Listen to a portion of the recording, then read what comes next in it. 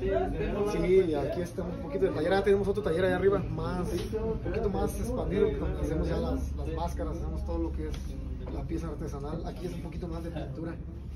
Oye, este, ¿cómo te llamas tú, perdón? Yo me llamo Manuel Basilio Aguilar Toral. Manuel Basilio, nos comentas tú que fuiste Tarepeti por ahí en el año de En el año 2019 yo participé como Tarepeti del barrio del San Mateo. de San Mateo. Y una experiencia que hayas tenido así de ser Tarepeti. Pues la, la verdad, pues la experiencia más bonita fue esa, la de la participar en la competencia. Es como representar al barrio, es, es lo máximo para aquí, para un joven de aquí de San Juan.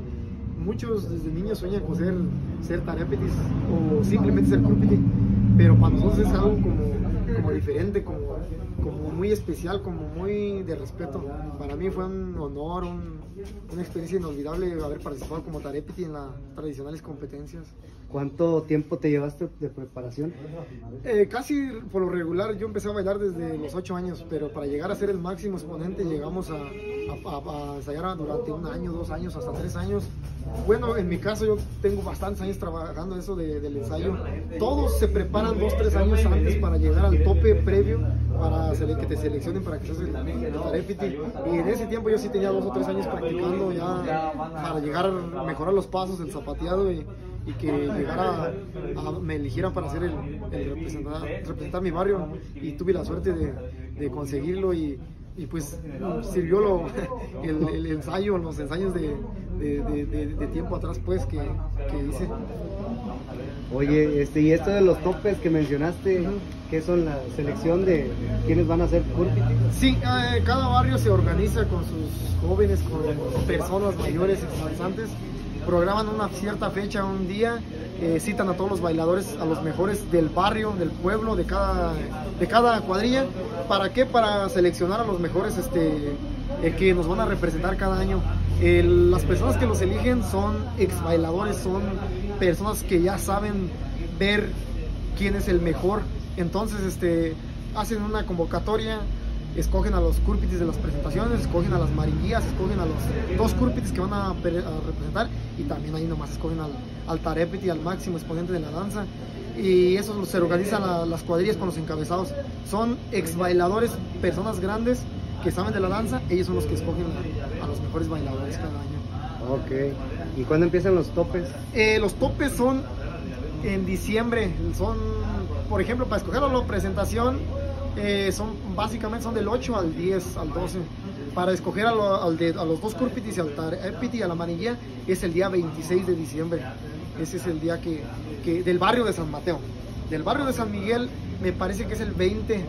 O sea, Son un poquito de días diferentes de diferencia. Pero esas fechas los muchachos ya están preparados. Pues durante todo el año pasan las competencias y empiezan a practicar todo el año para llegar a representar su barrio.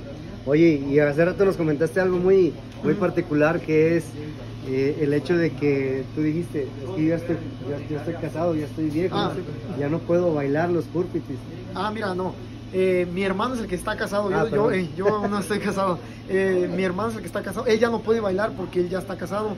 Los que están casados ya no, ya no, ya no pueden participar en la danza de Kurpitis. Es parecida a la danza de los Kurpitis feos. Eh, en la danza de los Kurpitis bonitos, así lo decimos nosotros, deben de ser puros jóvenes solteros que no estén, que no tengan compromiso. Allí es eh, parte del, es un requisito pues para que, para que participen en la, en la danza de Kurpitis. Es un requisito. Sí. ¿Y los chavillos de cuántos años? Mira, pueden participar de 14 en adelante a la tradicional competencia, pero para andar en exhibición o así, pues llevan hasta niños vestidos, o sea, pero lo básico es de, de los 14 a los eh, para arriba ya los años que sean, mientras no estén casados. Más o menos así es lo que están manejando. El requisito deben ser 14 mínimo, mínimo. Porque pues varios niños quieren participar, en la, pero ahí la infantil, ahí ya pueden participar en los grupos chiquitos. Ok.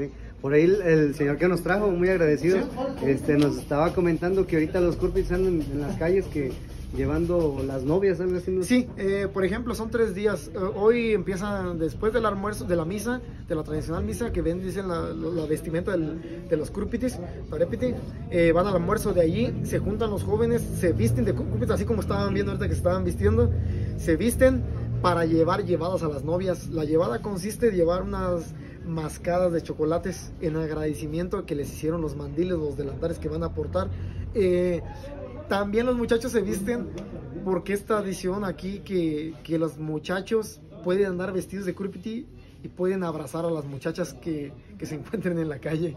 O sea, es parte de la esencia de la danza de kurpitis.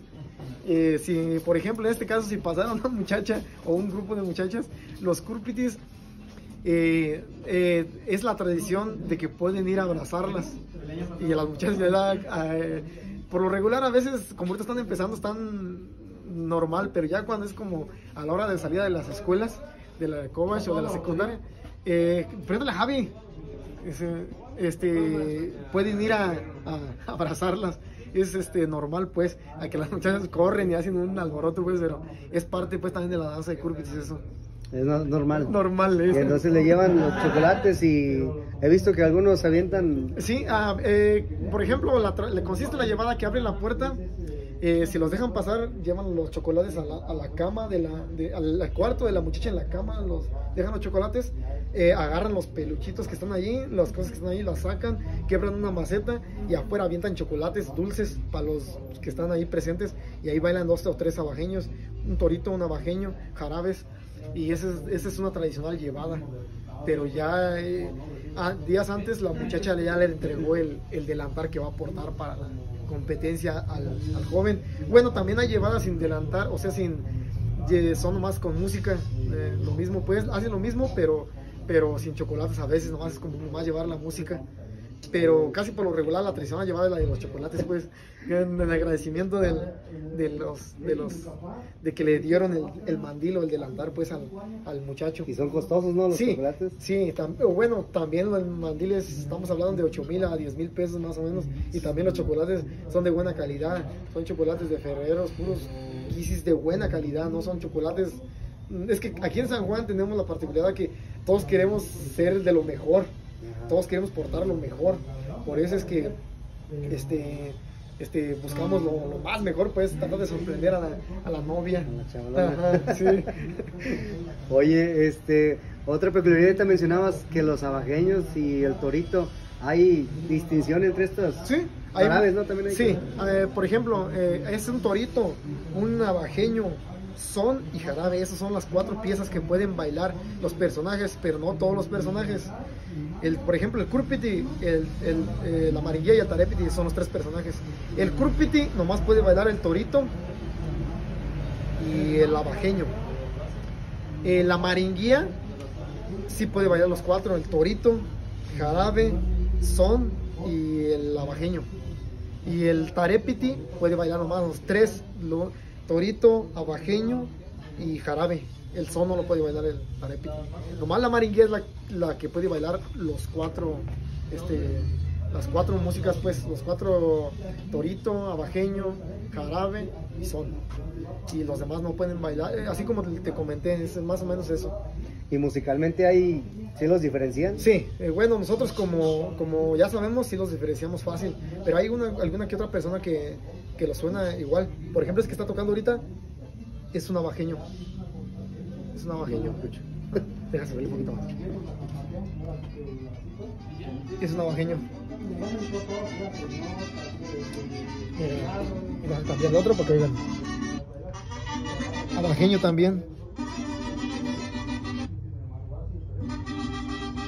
Navajeños, suenan pues casi similar. Navajeños es un jarabe. Está como más paseado.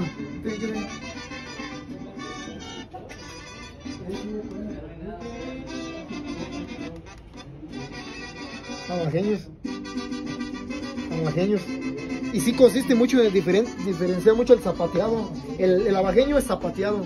El jarabe son puntas y, y tacones, puntas y talones. Y el torito es un poquito más arrastrado, es como algo de diferencia. En esas tres En esas, sí. Y ya el son es más, más es propio de la, de la maringuía, pues. Eh, es la particularidad de, de, la maringuía que es un, es un hombre vestido de, de mujer purépecha, trae una máscara de, de, de, mujer. Y ya el tarepiti es el máximo exponente de la danza, es el más sabio, el más experimentado, es el que trae la máscara, que trae la barba. Los curpitis eh, son muchos y son el que nomás trae de, un bigote sea un bigotito ahí pronunciado y ya. No puede tener barba porque es la diferencia del, del máximo exponente, pues. Oye, ¿y tú sabes la historia de cómo nació el- la competencia, la tradicional Sí, competencia? la tradicional competencia empezó porque ahí en el antiguo San Juan, las fechas no me las sé exactamente, pero es una historia que, que relatan que había una, una chica muy bonita eh, que se llamaba Fermina López y habían dos chicos que la pretendían, era Espiridión Equigua y Espiridión Martínez. Y uno era rico y uno era pobre y cada quien tenía su grupo de, de- de amigos. Y la muchacha les, eh, les pidió que el que bailara mejor, este, lo citó en, la- en el centro del pueblo, que el que bailara mejor se iba a quedar con ella, o sea, le iba a dar preferencia a ella. Entonces lo citó en el centro del pueblo y ahí nació la rivalidad de las cuadrillas, de las competencias. Por, por la iniciativa de esa, de esa chica empezó las tradicionales competencias, porque los curpis ya se vestían, pero por esa chica empezó las, las tradicionales competencias. Ah, ¿No sabes en qué año más o No, menos? no se sabemos. tiene- Es que hay muchas historias. En realidad no hay una, una que diga, mira, la danza de cumbres empezó tal fecha y empezó por... No, hay muchas historias, muchas, muchas, muchas historias. Y, y en realidad no tenemos como algo bien definido, pero hay muchas leyendas que nos cuentan nuestros antepasados, nuestros nuestros abuelos, nuestros, eh, nuestros antepasados nos cuentan, ahí se fue transmitiendo esto que, que te estoy contando, pues. Excelente. Oye, y aparte de ser, pues obviamente, danzantes de corazón, eh, también tienen aquí un taller, ¿no? Sí, Son artesanos mascareros tradicionales. Sí, sí, somos este, artesanos con mis hermanos, somos este, artes- maestros mascareros, nosotros hacemos lo que es la máscara, lo que es la cabellera, hacemos todo lo que es el, el- lo que ocupan pues de, de artesanía, lo que es el burrito, el bastón de mando, eh, las máscaras, hay que tener un burrito porque.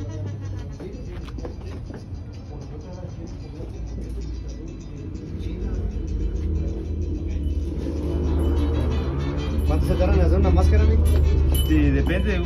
Ya ahorita con, la, con la, la experiencia que tenemos, ya ahora sí como unos 4 o 3 días.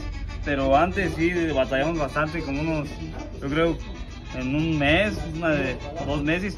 Pero las de Curpiti, porque estas son más sencillas. Las de Tarepiti son las de Barbita y las que están más, están más elaboradas. Ya se alcanza uno de un mes, mes y medio a tres meses. Como esas son las de Tarepiti, está más difícil. ¿Y estos espejos qué es lo que representan o es adorno de...? No, bueno, sí. el Tarepiti siempre an- anteriormente llevaba un espejo rectángulo rectangular, era el máximo exponente, o ese es el máximo exponente, pero es lo que distinguía del- de los demás. Ahorita, como vuelvo a repetir, todos los Crupitis ya quieren ser, traer de lo más mejor. Eh, el Tarepiti siempre va a llevar algo, una pieza grande aquí que, que- que refleje. Eh, los Crupitis también, pero lo, según es como una representación del, de- de- del sol del sol, según es una representación del sol. De Tata Juriata es la representación, lo que es el, el espejo que lleva aquí, que, que refleja. Eh, pero hay varias versiones, pues, hay muchas versiones, hay muchas versiones de lo que significa cada, cada cosa de la, de la parte del, del vestuario de la danza de Turpitis. ¿Y cuál es la vestimenta tradicional del tarepiti?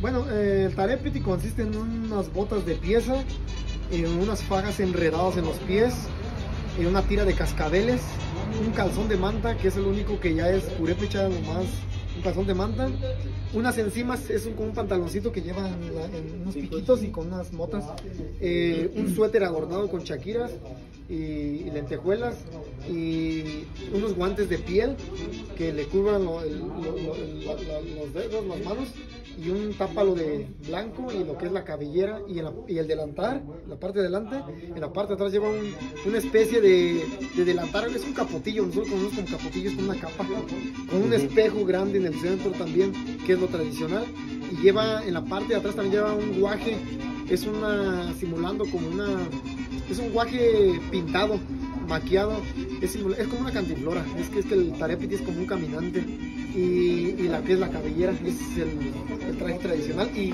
el tarepiti es el que lleva el bastón de mando que es el burrito, es, es- es el, es el único que puede llevar el bastón de mando, el tarepiti. ¿Y este es de madera también? Sí, todo está hecho de madera, todo está hecho de las iniciales. Sí, o se ¿Y cuánto es el precio más o menos que oscila en un vestuario de Tarepiti? Y el, el precio de un vestuario de Tarepiti sí está algo costoso. Básicamente, si una, hay va- varía según como lo quieras de, de- de- de elegante o determinado, de calidad. Eh, está de unos 25 mil, 35 mil a unos 45 mil o hasta 50 mil pesos todo el traje, más o menos. ¿Es pesado al momento ya de bailar? Sí, sí. Simplemente los cascabeles llegan a pesar como 2 o 3 kilos. Eh, yo creo, me yo me imagino si se trae unos 10 kilos más o menos, unos 8. No, sí varía hasta más. Bueno, el vestuario que tengo yo está un poquito pesadito. Están los cascabeles, unos 3 kilos en cada pie, son 6 kilos ya. 6 kilos, imagínate bailar. Sí, y, y aún así baila uno. Y luego con el calorón, ¿verdad? Sí, También. sí. ¿Y esas barras, por ejemplo, de qué son de...? Estas eh, son colas de res. Estas son colas de res. Todo el tarepiti, todas las máscaras anteriormente, en los años 80, eran estas. Eran estas las que se utilizaban. Era una, esta era una cabellera tradicional. Esta es una cabellera tradicional. Era muy repleta de, de colas de res. Esto era lo que era la danza de Kurpitz en esos años. Mira. Ahorita en la actualidad, ya un tiempo ya no les querían poner las, lo que son los rabos de, de res, pero nosotros como sabemos de la historia tratamos de, de mantenerlo para que no se pierda y tratamos de ponerle al menos tres rabos, porque si te pones a ver, estos aquí son como unos 12, tra- 14, Ajá. y ahorita ya mínimo le ponemos unos tres. En este caso, en la cabellera que yo utilizo, esta es la que yo utilizo, le pusimos cuatro para que se vean sobresalientes, para que lo- los busca, pues, es que esto es lo tradicional, pues, no se pierda lo, lo, lo, lo que es la danza de los Krupitis en cuestión de... Como nosotros somos danzantes tradicionales, sabemos pues lo que es la, más o menos lo que es la historia, tratamos de, de no distorsionarla pues, para que se mantenga más, más eh, a concordia como es pues. ¿no? Oye, ¿y de los mejores danzantes que ha tenido el, de los máximos exponentes aquí en, en San Juan Nuevo, ¿se Eh, tiene nombre? Sí, hay varios, eh, muchos, muchos, muchos. Hay muchos danzantes este, que aquí, de, por ejemplo, del barrio San Mateo hay varios, del barrio San Miguel hay muchos también que, que, han, que han representado, por ejemplo, del barrio de San Miguel hay un, un ya grande que le decimos el tío Juancho, es uno de los, de los mejores que, que, que- que conocemos nosotros, y del lado de San Mateo, Patio Nono, también son de los mejores. Son las personas más grandes ahorita en la actualidad que, que, ellos traen zapateados tradicionales pues que son de los más más este vistosos pues porque también la danza han, han modificado un poco anteriormente era más zapateado y menos paso y ahorita en la actualidad ya ya se ha visto más paso y menos zapateado pero los verdaderos danzantes ya están checando todo eso para que se, se corrija un poquito ese, ese detalle y se vea ya más, más a concordia como era tradicional pues. Órale, excelente. Bueno, para la gente que por ahí nos va a ver, este, ¿cuáles son las redes sociales que tienen aquí ustedes? Nosotros tenemos una página, los invitamos pues más que nada que vengan a conocer nuestro trabajo aquí en nuestro taller aquí en La San página se Juan. llama ¿no? M A M. La No, página no, se llama MAM Máscaras y Cabelleras San Juan Nuevo. Ahí nos pueden ubicar, ahí pueden seguir para que nos sigan y vean todo el trabajo que hacemos y también a veces nos invitan a, bailar. También llevamos, este, tenemos un pequeño grupo de, jóvenes que llevamos a bailar también danza de Kurpitis y vean nuestro trabajo y, vean la calidad del trabajo más que nada y que se den una vuelta aquí a San Juan para que vengan y, y vean nuestro trabajo. Pues,